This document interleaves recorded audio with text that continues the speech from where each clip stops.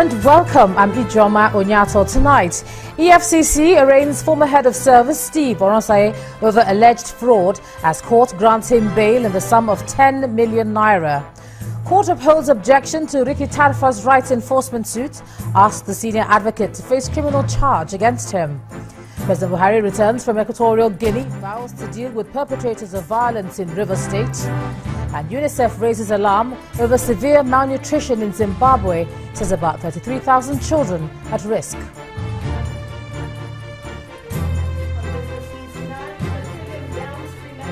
Call for sectoral deregulation and transparent allocation of foreign exchange to marketers.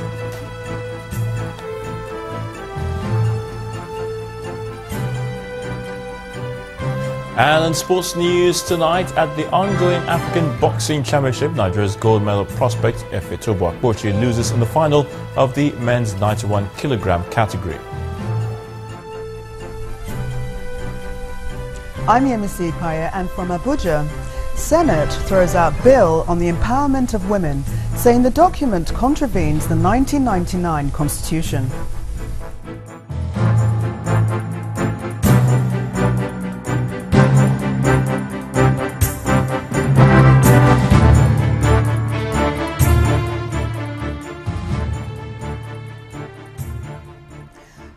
Of service, Mr. Steve Oronsaye, who was arraigned today at the FCT High Court in Abuja, has been granted bail in the sum of 10 million naira and two sureties. Both sureties cannot be less than the rank of directors in the Federal Civil Service or in the alternative, retired directors who are residents of the Federal Capital Territory. The sureties are expected to provide evidence of the bail bond in the sum of 5 million naira each. Mr. Oronsaye had pleaded not guilty to a two-count charge of fraud and obtaining money under false pretenses. Meanwhile, a member of staff of the Economic and Financial Crimes Commission told the court that Mr. Oronsaye allegedly diverted funds to a personal account with a commercial bank.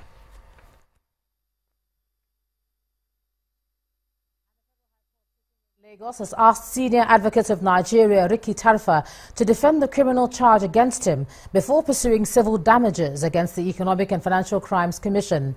The presiding judge, Justice Muhammad Idris, today upheld the EFCC's preliminary objection to Mr. Tarfa's 2.5 billion naira fundamental enforcement rights suit.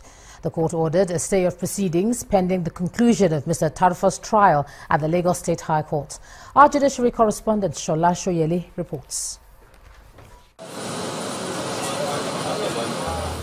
Senior advocate of Nigeria, Ricky Tarfa, was not in court today for the verdict in his fundamental rights enforcement suit. He had sued the EFCC for allegedly violating his rights after he was arrested on charges of obstructing the work of the commission and perverting the course of justice. Mr. Tarfa demanded 2.5 billion naira as damages. He also sought an order of perpetual injunction restraining the anti-graft agency and its agents from further violating his rights. He also wanted a public apology as well as the release of his telephones and SUV which were seized by the EFCC. The EFCC, through their lawyer Wahab Shitu, however, filed a notice of preliminary objection challenging the court's jurisdiction on the ground that Mr. Tarfa's prayers following his arraignment on the charges at the Lagos State High Court had become academic and hypothetical. Mr. Shitu asked the court to decline jurisdiction in view of the pending criminal charge or in the alternative state proceedings pending the conclusion of the criminal case against the senior advocate. Justice Idris, however, dismissed the EFCC's objection challenging the jurisdiction of the court to entertain the matter. But he agreed with the Commission when he held that it would be inelegant for him to make any orders that will undermine the authority of another court or coordinate jurisdiction or bring the judiciary to ridicule. He noted that unless he stays action, there's a real risk of serious prejudice which could lead to potential injustice for the EFCC. In the interest of justice, the judge ordered a stay of further proceedings in the civil suit pending the determination of the criminal proceedings before the Lagos State High Court. Counsel to Mr. Tarfa, senior advocate of Nigeria, Mr. George Oguntade, declined to comment on the matter. But counsel to the EFCC says it's a brave verdict. You see that is a vindication for the EFCC. It confirms the prosecutorial authority of the EFCC. It confirms the powers and autonomy of EFCC to act within the confines of the law. While the order to stay proceedings in this case subsist, Justice Idris says that the EFCC shall ensure respect for the fundamental rights and liberties of Mr. Ricky Tarfa SAN as guaranteed by law, including the right to have the criminal charge prosecuted expeditiously. Shola Soyele, Channels Television News. New figures by the National Bureau of Statistics show that Nigeria's headline inflation for February jumped 2.6% to 11.4% month on month. Consumer inflation was reported at 9.6% in January, already outside the threshold set for the monetary policy considerations by the central bank. Ahead of the release, inflation estimates for February have been put at between 9.7% and 10.1%.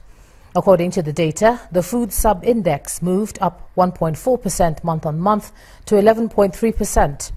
Urban inflation climbed 3% to 12.3%, and rural inflation reported higher at 10.7%, advancing 1.8% last month. So, how does all this affect the consumer? For more on the current inflation figures, I'm now being joined on the news at 10 by the Managing Director of Financial Derivatives, Mr. Bismarck Rewane. Thank you so much, Mr. Rewane, for joining us on the news at 10. Thank you. I remember you predicting this would happen. I mean, yes. the last time we sat down and had a chat about it. Yeah. But did you think it would be this high? No. The reality, let's explain what has happened. Headline inflation is 11.4%. This is the highest spike in inflation in the last seven years. And basically, it is the highest level in nominal inflation since December 2012. Typically, inflation goes up by about 0.1% every month. Last year, it went up eight times at point average of 0.1 or 0.2%. But this time, it's up by 270 basis points, which is significant. The question is why? Now, Nigeria is one of the 10 countries with the highest inflation rate in Africa. Why did it happen?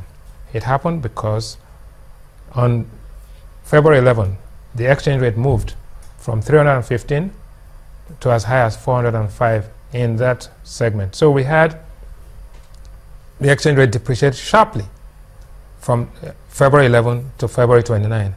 And this is a measure of prices in that month of February. And inflation is defined as persistent increase in price level. So what does this mean to the ordinary man on the street? First and foremost, the food basket increased by 11.3%, while the non-food went up by 11%. Urban inflation 12.3 and rural inflation 10.7. Why? Because the price of diesel had gone up from 107 to 134. You move goods with diesel. The, the, the thing is that we have paid the price of a devaluation without actually getting the benefits of a devaluation. So what has happened? Let us take beans, for example. It went up by 53.8%. Beans is inelastic because you use it for moi moi for akara, and there's no substitute for it. Flour, wheat flour went up by 20%. It's partly elastic, but the price of bread has also gone up by almost 30%. Yeah, we see rice as well. Yes, flour is now going at 9,300 per bag. Rice, it's incredible. That's gone up by 42.1%. Palm oil has gone up, and that increased the price of Indomie. Tomatoes is the only one that has come down because of the seasonality. So, in terms of prices going up yes. and salaries remaining where they were. Yeah. How is the average Nigerian expected to cope? So effectively, yeah. inflation eats into your income and your disposable income, and you have to make decisions about what you are going to give up. But one of, there are four reasons why inflation spiked in February. One, forex pressures. People were not clear. There was no clarity, no certainty, and no credibility about the foreign exchange policy of the country. So people were buying out of pressure and anticipation. There were shortages because of some items that were banned. There was speculation. Some people took advantage of this, and the exchange rate went all the way to 405 and has come back to 325 because there was resistance from the market. Transportation costs went up because there was fuel shortage. Some of these things are transient. So we expect that in March we will see some moderation of the inflation rate, but not enough to actually ameliorate the pain the financial pain and economic pain which the Nigerians are suffering. Now, let's compare ourselves to our peer countries. Ghana is a very good case. Ghana has actually adjusted their currency. They have dealt with their power supply. They have dealt also with uh, you know um, the currency situation, right? So when you So- say they've adjusted their currency, is that something that you're, uh, you're, you think we should do as well? No, it's it's it's a package. We'll come back to that. But Okay. the important thing is that Ghana has seen inflation come down from 20% to 18.5. Ghana has interest rates as high as 26%. They have removed subsidies, and the exchange rate is stable at about 3.89. So basically, fuel, currency, and power have all been resolved in Ghana. And Ghana's economy is 35 billion dollars, one third the size of Lagos State's economy. The other country is Angola. Angola has devalued three times, but it's enjoying a growth of 4.9%. Angola's inflation rate is 20.26. It has reduced subsidies, but its currency is going at about 448. An oil producing country under similar pressure. So what has happened? Nigeria has not Nigeria has defended its currency, has kept interest rates low, and Nigeria is enjoying a growth rate of 2.82. Inflation, when your growth rate is reducing, is what we call stagflation. And that's what you don't want. Angola is getting 4.9% growth, and the currency is under pressure. All of this because of exogenous variables. So what next? What next is that the budget will be passed this week, 2016 budget. The MPC meets on Monday. They have to decide, right? Doing nothing is not an option. Hmm.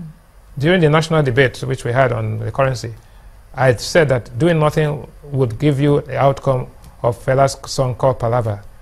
So you had currency Palava. Now, exchange rate policy must be adopted, and finally, March inflation will moderate. So the picture looks good, but there's a lot of pressure. You are taking the pain for inflation, whilst you have taken the pain for a devaluation, while you are not getting the privilege and the benefit of it. So you talked about no clarity about foreign exchange policy, and Yes. economists like yourself have also talked about no clarity in terms of economic policy. So what are you hoping to see in the next one month? Well, Nigeria, doing nothing is not an option.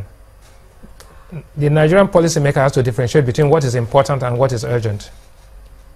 Important things can be postponed and can be delegated. Urgent things must be resolved immediately. And one thing you must notice is that anytime you see a queue, it means the price of that product is, is, is not the right price. Nobody queues in front of the Rolls Royce shop. Nobody queues in front of a jewelry store. Nobody people queue for petrol because the price is not right. Alright. People queue for foreign exchange because the price is not right. When the price is not right, you've got to adjust the price to get equilibrium. At that point, there'll be no distortion to economic activity. Managing Director of Financial Derivatives, Mr. Rewane, always a pleasure to have you with us on the news at 10. Thank you. And in part two, after the break, President Buhari insists his administration's war against corruption will be relentless. That's in a moment. Do join us again.